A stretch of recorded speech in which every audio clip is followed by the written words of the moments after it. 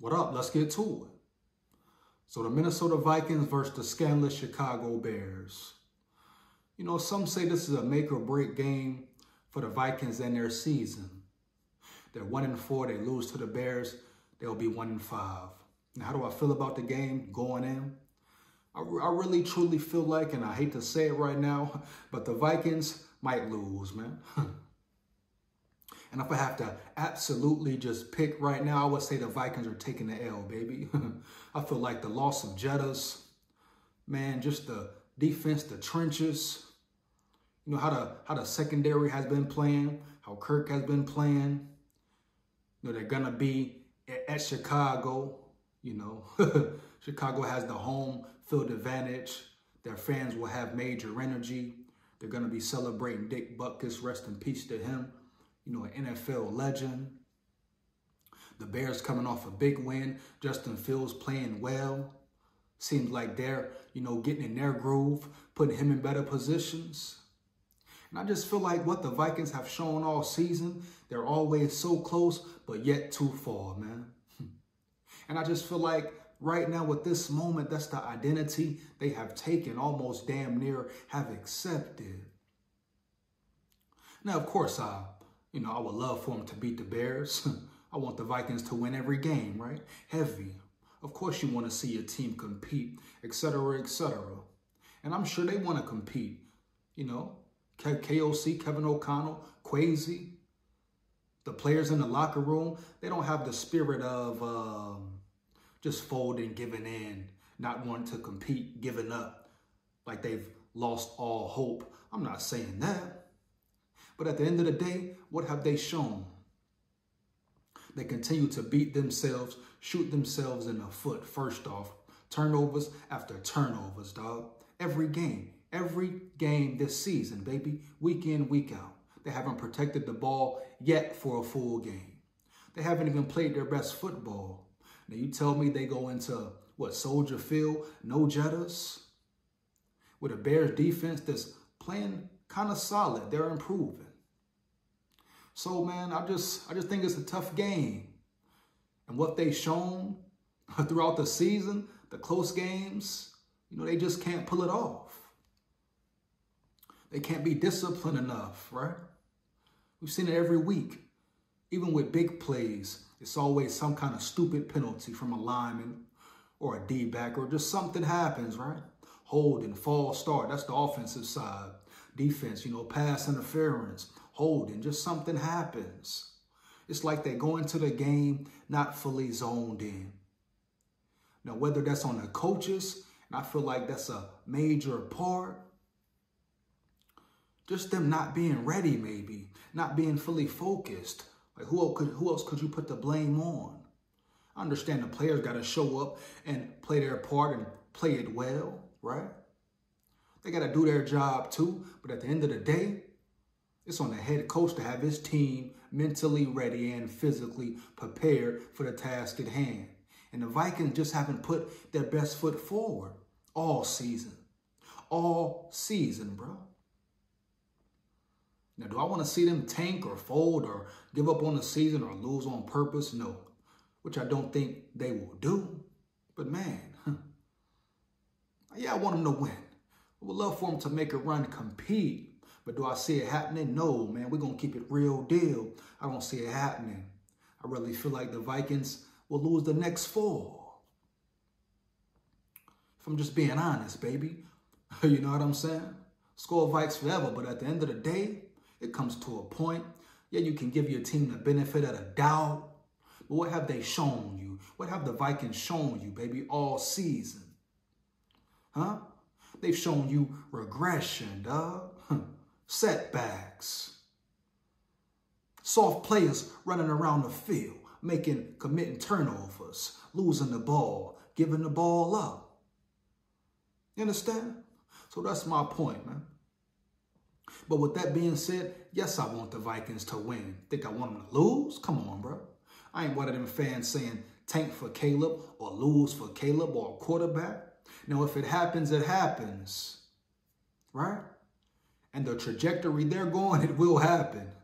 You understand? The schedule just, you know, gets tougher. It's, it's no let up, baby. Every week, competition, competition. They got the Niners coming up, a juggernaut, a true juggernaut, baby. so you tell me, do you think the Vikings can make a run, especially without Jettas, their best player, the best receiver in the league? You think they can make a run the way they've been playing on both sides of the ball? Let me know. Let me know and tell me your reason why. Heavy, big Skol. Let's talk about it. Fire them comments up. Fire them comments up, baby.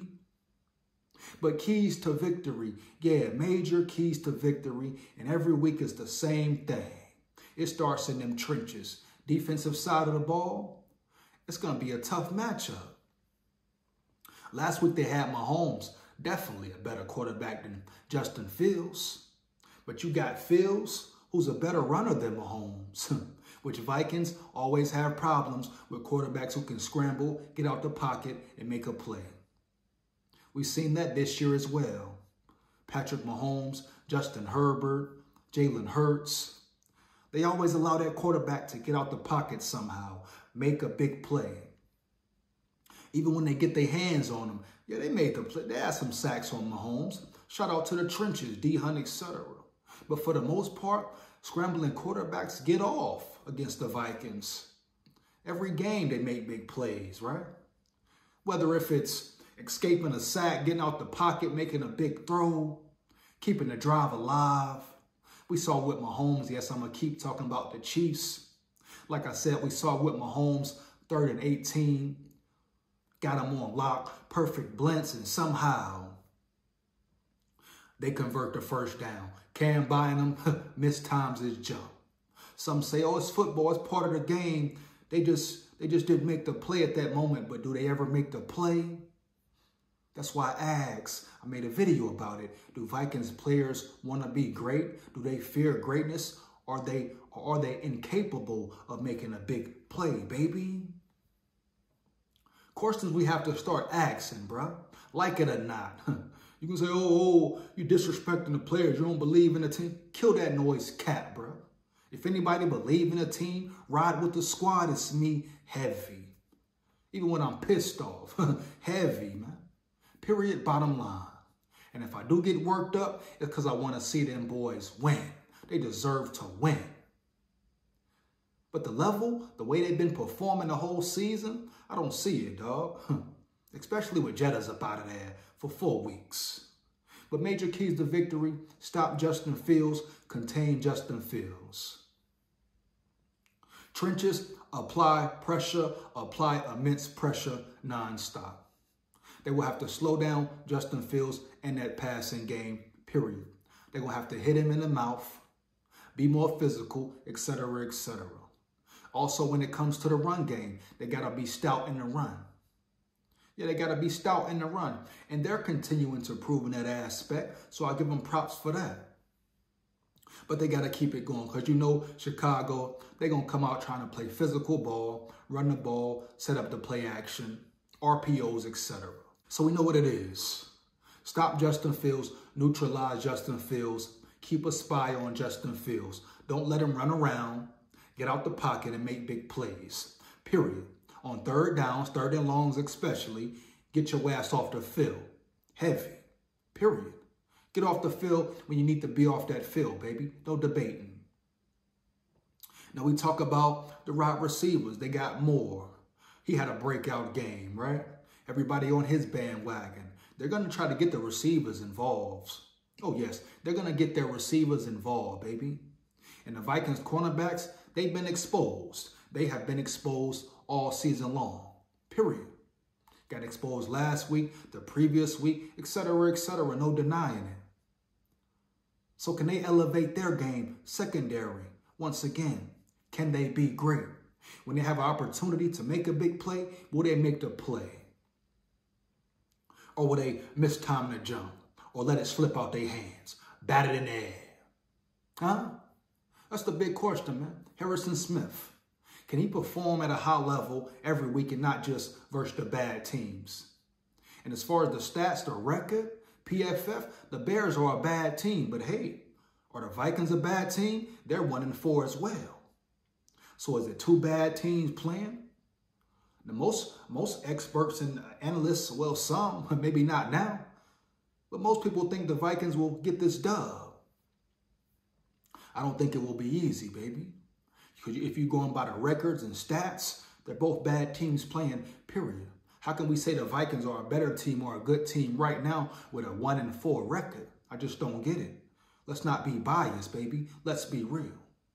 It's enough fake things around, you know, Minnesota concerning the Vikings. You know, fake media, fake fans, etc., etc., fake love, all that, baby. Period. So let's be real. I'm going to be real here. So two, one, and four teams, we're going to see who the worst team is. That's just what it is. But secondary, can they step up? Can they do their job? Which they haven't done for most of the season. I don't care what nobody said. Uh, Caleb Evans, he can play better. Byron Murphy, play better, bro. Harrison Smith, Cam Bynum, which out of the whole secondary, Cam Bynum probably has uh, performed at the highest level. You know, he's probably looked like he's the most improved, especially at that safety position. But he can make more plays as well. He can contribute more. Heavy. Just what it is. And like I say, yes, he has a lot of tackles, but that's because the trenches have been piss poor. Of course, you're going to have a lot of tackles at the safety position when teams are getting, what, five, six yards a pop? Just what it is. In the past two games, they really went against what? Passing teams, or at least versus the Chiefs and the Chargers. The Panthers, we see who they who they are, who they were. Washed. Not a good team, bro. Got a rookie, young rookie, struggling quarterback. Respect to uh, Bryce Young, though, man. Roll Tide. But we see who the Panthers are, period. You saw what the Eagles did to them. And the Bears are going to try to get that run game going too. They're a physical team, right? Period. So can the secondary be in tune with each other, be on the same accord, and put on a show? And not let the Bears receiver just eat, eat, eat heavy all day, dog. Understand? Brian Flores, when he change his schemes up, make the necessary adjustments. Put the cornerbacks in bump and run. You saw it some a little bit last week versus the Chiefs. Even though they got beat, I feel like, you know, being up in a receiver's chest, being physical, gives the cornerbacks more of an opportunity to be successful. But when they sit back five, ten yards off, they just get picked apart, man. Picked apart, especially if the pass rush isn't getting there. Just facts, man, heavy. So can the cornerbacks play good football? It's going to be a major key. Linebackers, we know what it is. Like I said about the trenches, get to get to Justin Fields. It's going to be a spy on Justin Fields. Should be a spy on him every snap the whole game. Ivan Pace Jr., Jordan Hicks. We don't know what's going on with BA, period. Where is BA once again? But Ivan Pace Jr., Jordan Hicks, they need to perform at a high level. Keep their eyes on Justin Fields, but also make plays in the run defensive game, pass game, right? Just what it is. Everybody got to play good football, Vikings football, period. That's what it comes down to, baby, heavy. Then we go to the offensive side. O-line again, O-line again. Now, as far as ranking stats, numbers, the O-line has been performing well. but from the eye test, just watching them, if you watch every game, especially in pass pro. Even in the run game, they, they can't seem to get the run game going, especially against elite linemen. Period. So they're going to have to start, it starts there, run game, run game, sets up play action, right? The Vikings need to get the run game going to set up the play action, period. That's their strength on offense right now. And they're going to need it with Jettas being out. Hands down, man down. Period. Hopefully Cam Akers is the starter. Respect to Matty, but Cam Akers, he is the better running back, in my opinion. Let me know if you agree. So first off, run game starts with the O-line. O-line, be physical, be more physical. Pass protection, we know what it is every week. Keep Kirk upright. Protect Kirk. Protect Kirk Cousins. But at the end of the day, Kirk Cousins, it won't always be perfect, bro. So that's the narrative again. Can Kirk Cousins ever buy some time? Can he evade pressure? Can he get out the pocket? Right? He's had opportunities to run, gain a first down, gain some yards, and he decides to throw it away or throw it for an incomplete pass. Hey, Kirk Cousins, it's not illegal to run, bro. You are allowed to run if you can, bro. Take off sometimes, Kirk Cousins. Help your O-line. Be more aware in the pocket. The pocket will not always be perfect. That's not reality. It's not realistic. This is the NFL, bro. You're going to get hit in the mouth. You're going to have pressure applied. So can Kirk help his O-line out? Now, the O-line needs to do their job, be solid, stand firm, protect their quarterback for majority of the game, right? But at the end of the day, Kirk going to have to help them out. Bottom line, it is what it is.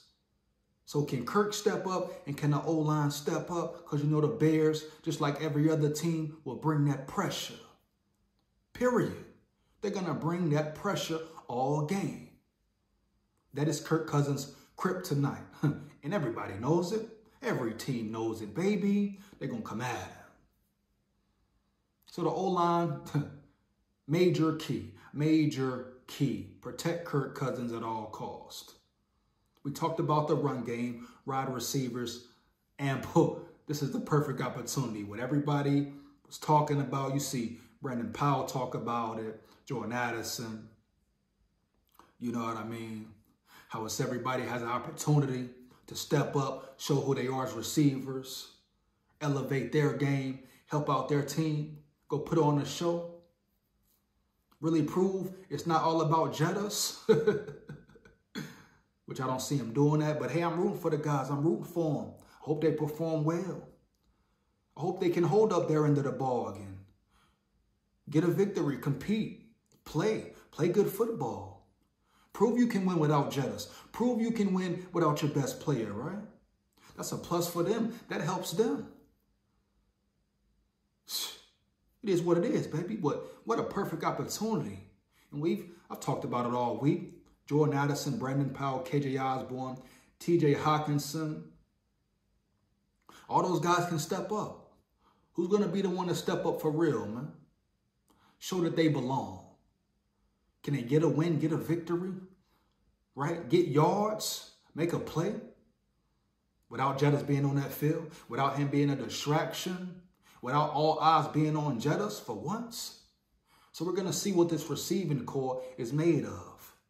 Who's really a one? Who's really a two? Who's really a three, baby? very intriguing, very exciting as well. I'm here for it, though. But those, those are the major keys, man. That's it. But those are the major keys heavy, man. It is what it is. Let me know how you feel about it. You agree or disagree? Feedback is much appreciated. Big Skol here, man. Shout out all my big dogs, my subscribers, my supporters. You are much appreciated for life. Never forget it. I'm at 1,500 plus subscribers. Much appreciated, baby. Let's get it to 2,000 heavy. Understand? Before the end of the season, baby. Rock with me. Let's get it, man. Support the channel for real. Support the grind. Skol Vikes forever. Woo!